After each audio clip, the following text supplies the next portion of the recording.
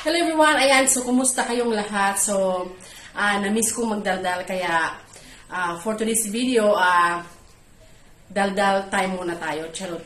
So, um, my name is Lisa. I am from Philippines. I'm currently working and living in Romania.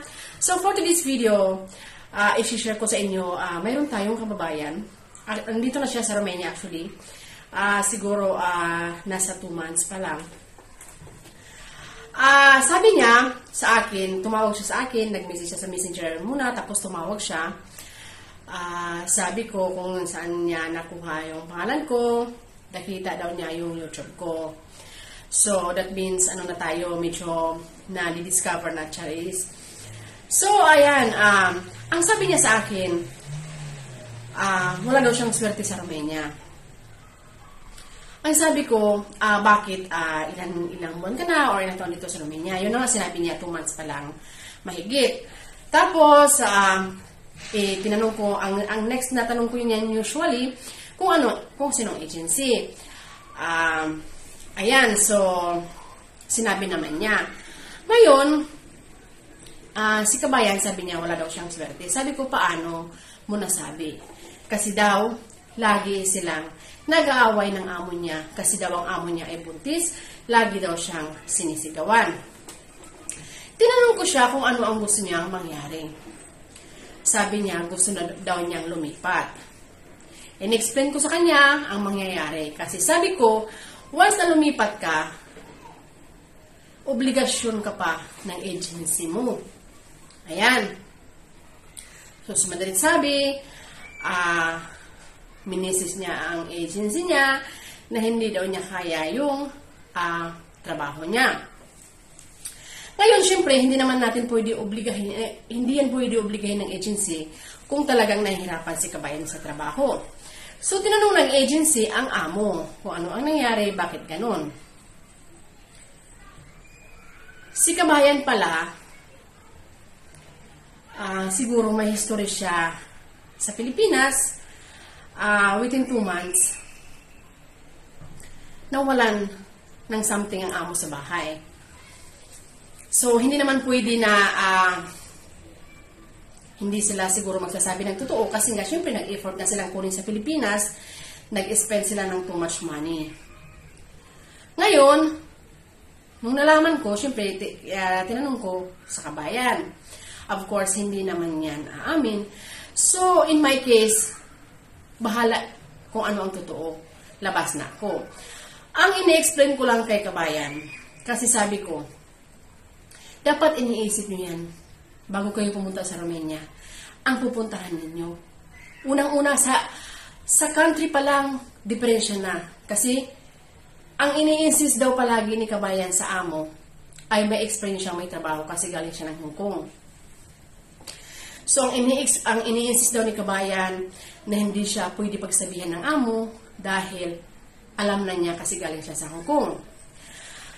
Ngayon, ah, sa mga papunta pa lang dito o nandito sa Romania ng mga baguhan, hindi natin pwedeng ipa- ipagkumpara. Kasi sa country pa lang, nasa Romania tayo, nasa Europe tayo, hindi tayo nasa Hong Kong. So magkaiba, pati yung mga amo natin. Kahit ngayong mga nagastos natin as may nagkaiba din, di ba? So, kailangan nag-a-adjust tayo pagdating sa mga amo, lalo na pag tayo ay baguhan. Dapat tayo ay laging nasa baba. Huwag tayo magipagkompetisyon sa sigawan sa amo. Kasi daw si kabayan sumisigaw din pag sumisigaw ang amo.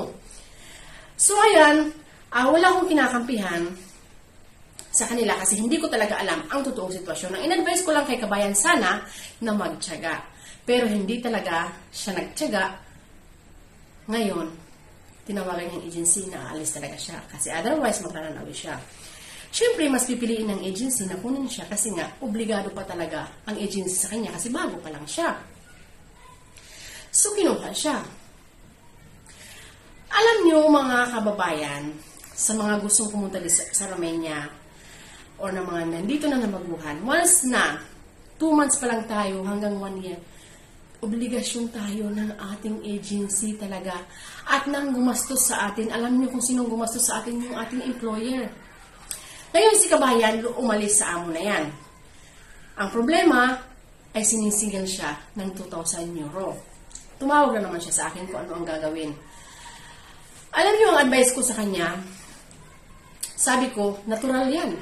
Kasi sila ang gumastos sa iyo. Gumastos ka sa sarili mong pera, magkano, mas malaki ang ginastos ng employer sa iyo. Kasi dinala ka nila dito dahil sa pangalan nila at sa binahid nila sa agency at sa lahat. So, sinisingil daw siya ng 2,000 euro, ayaw niya magbayad. Sabi niya, napakamalas ko talaga ate dito sa Romania. Sabi ko, alam mo, hindi mo masasabi yan eh. Kasi minsan tayo nagiging malas dahil din sa ating mga sarili. Hindi natin alam. Minsan nagiging malas tayo dahil din sa ating mga sarili. Ang advice ko sa kanya ay sabi ko, kung ayaw mo magtrabaho dito sa Romania, kasi ang pinunta natin talaga dito ay magtrabaho. Kasi natatakot daw siya maghanap ulit ng amo. So, anong gagawin mo? Sabi ko. Kung ayaw mo magtrabaho, umuwi ka. Kasi, once na maging illegal ka, magtiinti ka, ikaw mapapasama, di ba? So, ngayon, ah, iniisis niya, sana hindi pala ako pumunta ng Romania. Sabi ko, sis, hindi. Dapat inisip mo kung ano ang rason bakit pumunta ka sa Romania. Di ba?